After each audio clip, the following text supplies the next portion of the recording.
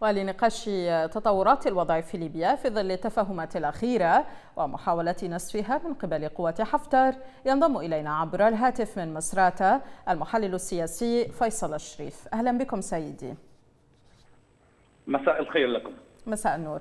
بعد الاتفاق على انتخاب رئاسة جديدة للبرلمان أواخر الشهر الجاري ما حظوظ عقيل صالح في هذه الانتخابات؟ نعم هو حقيقة يعني المشهد الليبي اليوم يعني أمام مفترق صعب بالفعل يعني بعد أن أطلقت البعثة بعثة الدعم في ليبيا. وستيفاني ويليامز يعني أطلقت هذه المسارات التي كان منها مسار السياسي والاقتصادي والعسكري لجنة خمسة زائد خمسة. اليوم المسار السياسي الحقيقة يعني الذي تقوده البعثة في تونس والذي دعت اليوم على صفحتها المنخرطين فيه للاجتماع أو الانعقاد غدا في تونس للتصويت على آلية اختيار المجلس التنفيذي نعم. آه، يشهد يعني حتى هذا المسار نعم يشهد هذا المسار الحقيقة الكثير من المحاولات لعرقلته وهذه وهذه المحاولات يعني على رأسها الج... ال... ال... ال... ال... ال... هذه الشطحات اللي ان صح التعبير الشطحات العسكرية التي يريد أن يست... أو يستعملها آه، آه، خليفة حفتر بمساعدة ميليشياته والمرتزقة الذين يضمهم في ليبيا هنا اليوم وبمساعده الدول المنخرطة في الصراع الليبي على الصعيد الإقليمي والدولي وكذلك عقيله صالح آه، الذي تضاءلت فرصه بشكل كبير يعني لا على صعيد يعني على صعيد رئاسته للبرلمان الليبي عندما انعقد هذا البرلمان وكان قاب قوسين أو أدنى في الوصول إلى رئاسة جديدة وبالتالي يعني التخلص وجعلها عقيله صالح وحقبة عقيله صالح من الماضي. ولكن تم إفساد هذا الجهود إلى حد كبير. ولكن نقول بأنه يعني يعني آه، هذه الجهود ستلملم نفسها من جديد لمحاولة بالفعل الوصول إلى التخلص من رئاسة عقيله صالح للبرلمان واختطافه طيلة هذه السنين الفارطة. كذلك على الصعيد الآخر عقيله صالح يعني يركز جهوده الآن في محاولة أن يكون نصيبه رئيس المجلس الرئاسي آه، فيما يتعلق بمخرجات تونس القادمة حتى يستطيع أن يعيد موضعه السياسي من جديد باعتبار أن عقيده صالح يمثل بشكل أو بآخر يعني الدول المنخرطة في الصراع والداعمة للعدوان على طرابلس والداعمة للأسف لإفساد المشهد السياسي ومحاولة يعني تعثير أو وضع العصا في الدواليب أمام كل الجهود الدبلوماسية الجهود الدولية التي تحاول أن تخرج بليبيا من هذا من هذه الدوامة السياسية والأزمة السياسية المستمرة. نعم آه، آه، هذا كان سياسيا، عسكريا كيف يمكن تفسير آه، تحركات حفتر الآن باتجاه غريان التي افشلت وما الهدف منها؟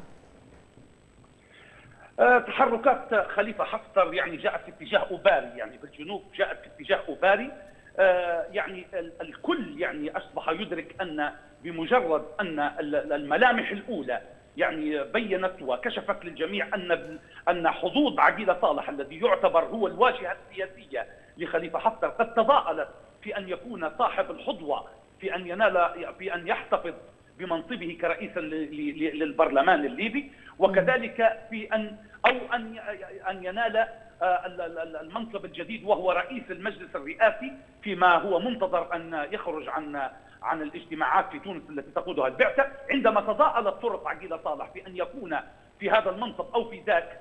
بالتالي يعني رأينا أن أن هناك محاولة للشوشرة أو للتشويش على جهود البعثة وكذلك للتشويش على جهود البرلمان وإحداث انقسامات في داخله بتحريك هذه يعني آه، وكذلك إفساد جهود خمسة زائد خمسه العسكرية آه، بضربة واحدة وهي بتحرك هذه العصابات وهذه الميليشيات وكذلك المرتزقة الذين يتبعون خليفة حفتر في محاولة لإحداث هذه الشوشرة حتى يتم إرسال رسالة للداخل وللخارج أنه في حال عدم يعني حصول عقيله صالح ممثل آه هذا الانقلابي خليفة حفتر في حالة عدم حصوله على منصب سياسي بالفعل يكون آه هذا المنصب في يد آه خليفة حفتر.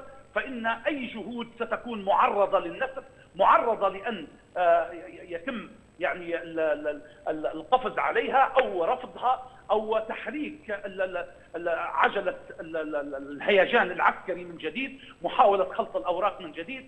اذا يعني الصورة أصبحت واضحة بشكل كبير أن هناك تحدي سافر جديد وخصوصا أمام كل هذه التقارير التي تصدر وآخرها تقارير الأمين العام للأمم المتحدة الذي يثبت تورط هذه الدول بشكل مستمر، نتحدث عن روسيا، نتحدث عن الإمارات، نتحدث عن دول منخرطة وداعمة للعمليات العسكرية، داعمة لإفساد الجهود السياسية ولخلط الأوراق حتى أمام بعثة الأمم المتحدة، هذا كله يعطينا دلالة واضحة على أن خليفة حفتر وعديل صالح وجهان لعمدة واحدة.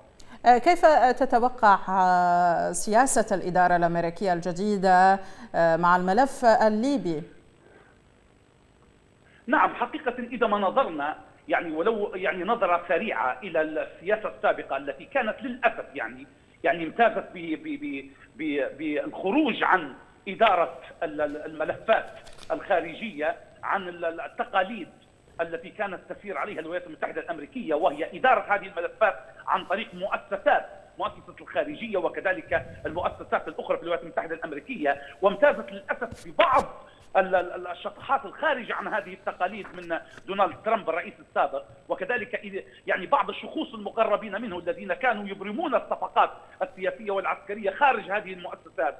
آه، اليوم ربما نقول أن هذا أيضا ربما قريبا سيصير سيصبح من الماضي. عندما نرى أن إدارة الديمقراطيين وعلى رأسها جو بايدن يعني تمتاز هذه الإدارة بالتعامل مع الملفات يعني الساخنة والملفات على المتعلقة المرتبطة بالولايات المتحدة الأمريكية وخصوصا بعد اعتماد أو المصادقة الأولية من خلال مجلس البرلمان من خلال آه، مجلس النواب الأمريكي على مشروع استقرار أو مشروع قانون استقرار ليبيا. فنحن نتفائل خيرا بأن الإدارة القادمة سيكون لها تعامل أكثر إيجابية وخصوصا. ربما في الآونة الأخيرة تصريح بومبويو أن الدبلوماسية الأمريكية أو ترسانة الدبلوماسية الأمريكية ستكون في خدمة دعم أو في في صميم دعم جهود آه، بعثة الأمم المتحدة للوصول إلى تسوية سياسية في ليبيا، النظرة الأمريكية تغيرت بعد خصوصا التخلص من جو من من جو من آه، جون آه، جون بولتون الذي كان مستشارا للأمن القومي والاتصال الشهير الذي أجراه بخليفه حفتر وكذلك الاتصال الشهير الذي جاء يعني بربما بتنظيم من من من أبناء زايد ومن كذلك من عبد الفتاح نكتفي بهذا. أشكرك. شكرا جزيلا لك المحلل السياسي فيصل شريف حدثنا عبر الهاتف من مدينة مصراتة الليبية.